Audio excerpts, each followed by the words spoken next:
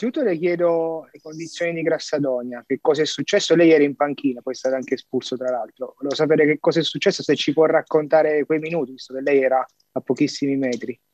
Eh, il mister questi, questi, due giorni ha avuto un po' di influenza, febbre, eh, e quindi oggi è svenuto in panchina.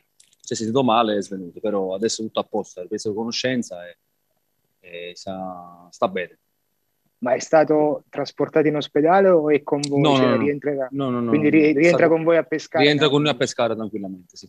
Quindi mi sembra di capire solo, un, un calo di pressione. Un calo di pressione, sì. sì. Okay. Ma lei mi parlava poco fa di febbre, di sintomi influenzali, calcolando che c'è stato anche un caso di Covid nel vostro gruppo squadra, se, una cosa riconducibile, se ci può fare anche un po' di chiarezza, un po' di quello che è successo. Ma non pensiamo che sia questo, pensiamo che comunque abbiamo avuto degli sbazzi di temperatura qui eh, in ritiro, siamo passati dai 20 gradi ai 7-8 gradi nel giro di poche ore nel corso degli allenamenti, quindi eh, penso sia stato un fatto così, perché ieri sera comunque abbiamo fatto un'altra serie di tamponi e siamo usciti tutti quanti negativi, quindi escludo in questo momento qua questa, questa situazione di Covid. Quindi il caso di positività è stato, vi è stato comunicato ieri sera, questa mattina, se ci può anche... Ieri sera ieri sera. È un giocatore, presumiamo, titolare da quello che abbiamo potuto vedere in campo. Un nostro calciatore, sì. Ci può, fare, può dire qualcosa in più? Uh, per privacy non possiamo dirlo, però penso che se uno fa uno più uno, penso che si riesca a capire chi sia. Vabbè, sì, infatti è relativa questa cosa. Lo Va so. bene, grazie. Posso Grazie. fare, ecco, eh, entrando invece, giudicando, analizzando la partita, Antonio Borchetti, intanto buonasera. Buonasera. Eh, mh, allora, primi 30 minuti, Pescara molle sotto ritmo a corso a vuoto. E poi volevo chiedere, è chiaro che forse sarebbe più opportuno, però per ovvi motivi non c'è Grassadonia, anzi gli auguriamo eh, le migliori fortune, ma sappiamo già che sta bene e questo ci fa molto piacere. Perché Odgard esterno, che ci è sembrato un po' una forzatura, era una scelta conservativa per limitare la spinta magari di Paiaz? Io l'ho interpretata così.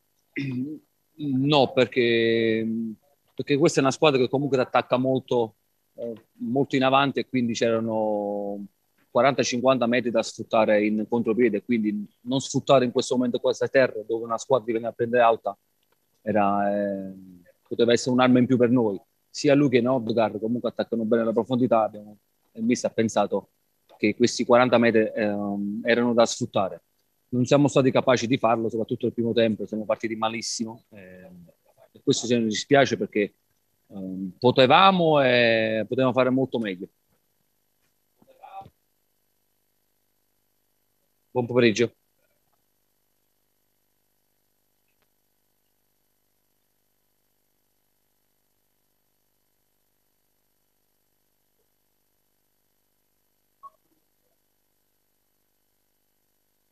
Per quanto riguarda la classifica sono due punti persi, però per quanto riguarda la, la partita penso che il risultato pot- può essere giusto. Buonasera direttore, le chiedo... Buonasera. Se... Valerio De Carolis, Forza Pescara. Lo so, lo so. Eh, nel, nel, momento migliore del Pescara arriva del pareggio, lo possiamo tranquillamente dire. Però eh, le chiedo per quale motivo poi passare con la difesa a 3, cioè l'utilità di difenderlo questo pareggio. Se lei ha scelta, no. Valerio, ti, ti, spiego subito. Questo ne ho parlato prima con il mister perché sapevo di questa domanda. Eh, eh, lui mi ha detto ehm, che Busellata aveva chiesto il cambio e, e, e Maestro aveva, era stato già ammonito e quindi era molto stanco. Avevamo Odgar che aveva fatto un primo tempo quasi da terzino destro quindi abbiamo cercato di mettere le due punte vicine per cercare comunque di sfruttare eh, i famosi 40 metri da, da, da attaccare, eh, mettendo un difensore in più. È stata solo una questione di, eh, di, ehm, di, di, tenuta della squadra, non, non assolutamente per conservare il risultato. Quindi si poteva fare allora dall'inizio, no? Mi verrebbe da, da pensare, no? Cioè, se Odgard è stato poi accentrato, perché secondo me il ruolo di Odgard è quello di punta centrale o di seconda punta, allora si poteva fare eh, da subito. Eh, no, perché ehm, loro avanzavano molto con, con, i terzini, quindi noi dovevamo sfruttare a, a ah, quindi, quindi prendere... mi stai dando ragione Antonio per limitare le incursioni di Paiaz, cioè c'era anche una scelta conservativa in fase di non possesso, quello intendevo chiederti prima. Sì, perché se ah, si ecco. alzano molti terzini lasciando i due difensori centrali completamente con un solo attaccante nostro è normale che uno degli esterni è sempre libero. Eh, dovevamo sfruttare questo meglio non c'è riuscito assolutamente perché loro, oltre che una squadra di qualità, ma eh, il nostro approccio alla partita è stato negativo.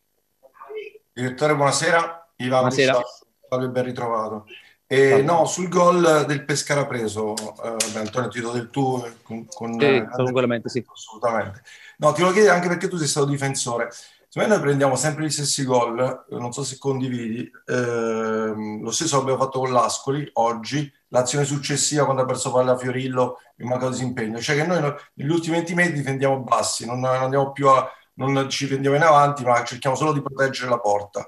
Oggi è la stessa cosa, cioè la difesa non riesce a uscire su queste palle ai 20 metri perché siamo sempre molto bassi e non, a- non difendiamo in avanti. Dovevamo assolutamente accorciare sul portatore di palla. Siamo abbassati, ma noi abbiamo preso gol sul nostro fallo laterale. Non Sì, dimentichiamoci che noi abbiamo avuto il fallo laterale di, di Bellanova, dovevamo fare uno schema, eh, quello di far passare la palla all'interno per andare a, fare il cambio gioco. Eh, abbiamo perso palla e quindi c'è stato eh, la squadra che era molto aperta. Eh, quindi è stato un nostro errore, soprattutto una nostra mancanza perché la palla ce l'avevamo noi. Quindi è normale che ti sia abbassato per cercare di recuperare palla e, e invece dovevamo andare a accorciare sul tiratore di palla Perché poi con, Antonio, con il tiratore. aggiungo Antonio, siamo- prendiamo Sì. sempre gol a difesa schierata, cioè anche con l'Ascoli, ricordo il gol allo scadere, cioè di- in sovrannumero, però sempre bassi e mai che difendiamo in avanti. Dobbiamo cercare di prendere assolutamente i riferimenti perché va bene gio- difendere a zona, ma, eh, ma a volte i riferimenti vanno a presa uomo. Sicuramente sì, dobbiamo migliorare soprattutto in questo perché noi eh, pecchiamo in questo. Tra l'altro era, è successa la stessa cosa nel primo calcio d'angolo, eh? sullo 0-0. Sì, sono da duello e poi si è sfilato il loro difensore. Però diciamo che sul primo contrasto siamo stati bravi a, a prendere palla. Parliamo sempre di un giocatore di 1,95 m, mi sa. Quindi eh, c'è anche la bravura loro.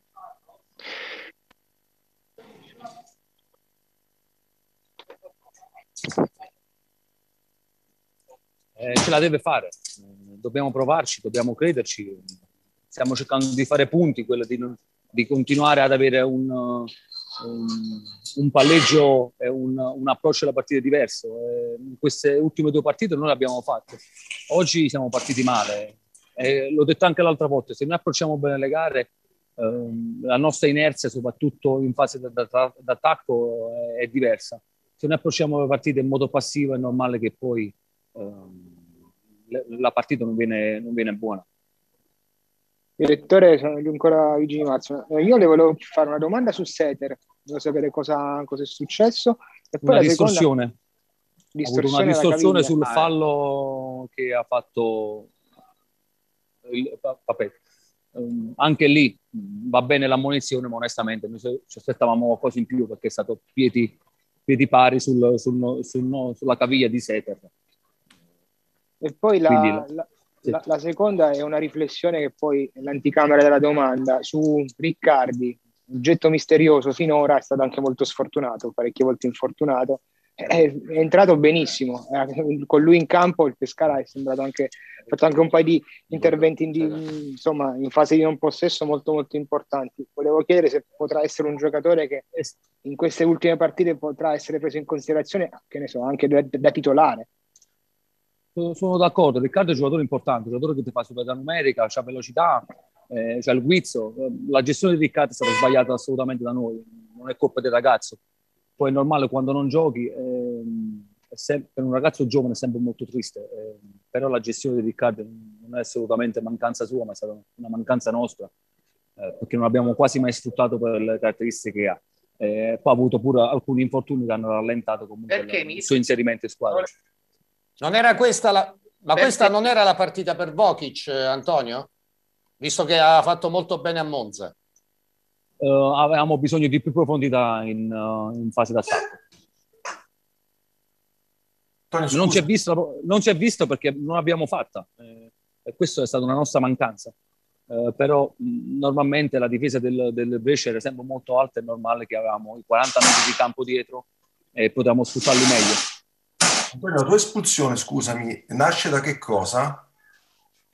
Nasce la mia espulsione, mi sono arrabbiato perché quando il mister non si è sentito bene, eh, se poteva mh, cercare di avere un pochettino di fair play in più da parte del Brescia. Invece la palla poteva tranquillamente andare verso il portiere di cominciare l'azione invece di incominciare a 10 metri dalla nostra porta. Era solo, era solo questo, un disappunto, ma um, non sono stato um, maleducato, anzi è stata un, una protesta molto civile. È normale che poi il quarto uomo mi abbia espulso, ma non è stata assolutamente ne, ne, nessuna maleducazione verso gli altri. Ma lei se l'è presa con lei, cioè, lei ha, ha, puntato il dito verso l'arbitro o aveva no, mi, so, mi sono alzato, mi sono alzato, no, mi sono alzato, mi sono alzato e, e quindi uno che sta in panchina aggiuntiva, aggiuntiva non, non, si può alzare dalla, dal proprio posto.